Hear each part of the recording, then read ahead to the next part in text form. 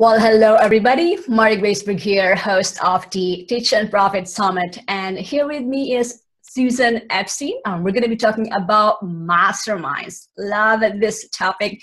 Susan is a master at this one. So, what um, we're going to have fun uh, dissecting this uh, mastermind thing and how to create, build, ma- uh, how to create, run, manage, and all these intricacies about masterminds. But first off, Susan, welcome to the stage.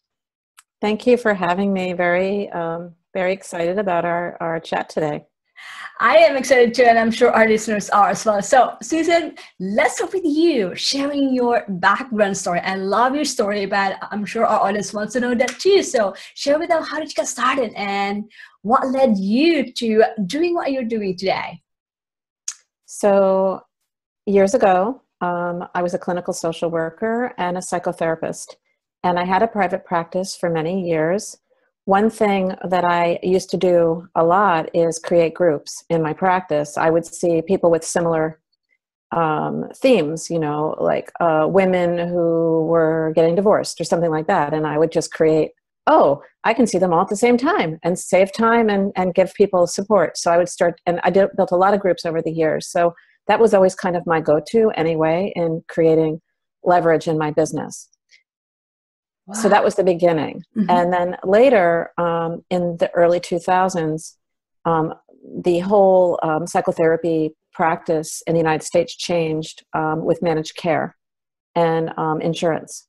And so, where you used to be able to say, This is what I'm going to make per hour, in order to participate with insurance panels, they told you what you could charge. So it's kind of like all of a sudden you're working for yourself and then you're working for an insurance company. You don't really, it's not really your business anymore lots of rules and regulations as well. So I ended up having to work twice as many hours to make the same money because they cut the allowable rates. And I was working, um, probably seeing 30 clients a week, which for 45 to 50 minutes each is a lot of a lot of people, a lot of listening, and it's all in person, obviously, because that's the way before the internet, right? so that's what we did and I heard a friend of mine was a life coach, and um, I, you know, asked her, you know, what is that? Like, I was just, this is like so. To me, it was like I was probably ninety nine or two thousand. Like, what is this? And um, she told me about it, and I hired her for three months and um, had like my first life coaching experience, and I got all this stuff done in my life. like just like done like i took my kids on vacation planned this huge family vacation bought the rug i'd been putting off for buying for 10 years you know just like funny things like that. And uh, this is a really good way to work. Um, working with people who are creative, resourceful, and whole. Working with people who proactively want to take action and helping them get to that stuff, right? So that was my first taste of it. And then um, years later, not even years, but a couple of years later, I um, decided how can I merge my therapy practice and my coaching practice? And I thought, well, since I'm a family therapist and a play therapist, why not be a parenting coach?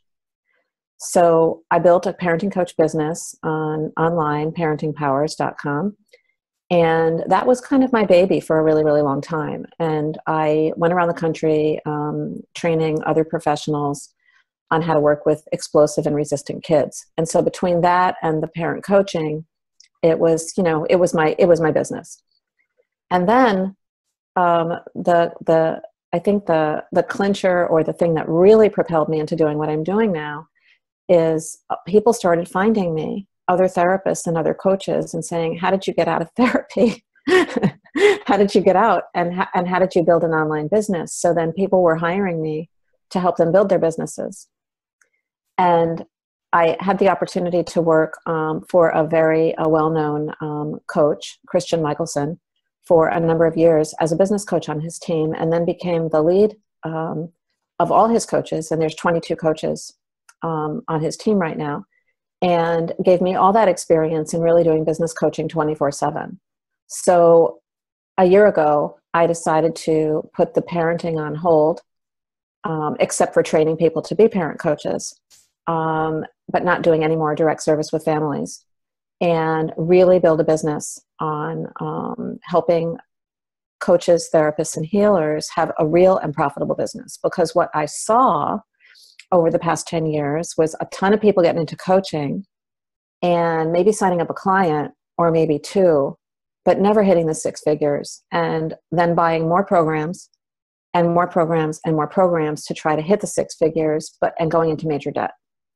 And it really disturbed me to see my friends and colleagues do this, you know, sort of like this shiny object syndrome to think that, you know, I'm going to go to this live event, I'm going to drink the Kool Aid, I'm going to think I can have this business, but have no idea what they're doing.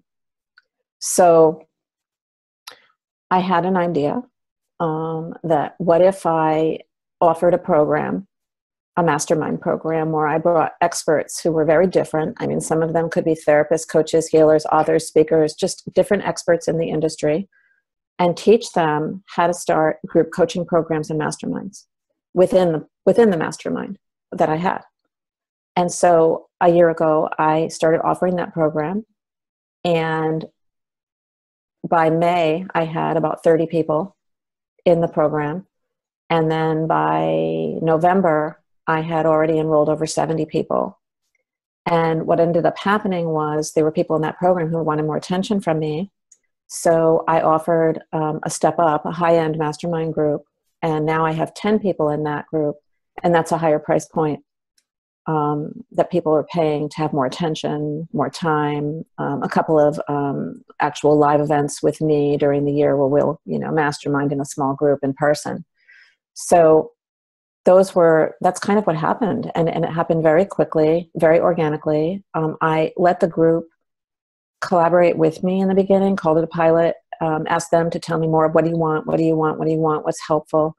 And you know, yes, yay for my success, but the real success is the people that have come through my programs that now have businesses that are real and profitable. That's for me. If I wasn't doing that, I would have gotten out because I want to, you know, definitely deliver a program that that uh, gives results and helps people and not just collects their money like the programs that they bought in the past. So everything I do is pretty high touch um, they get a lot of attention from me, and I'm committed to their success.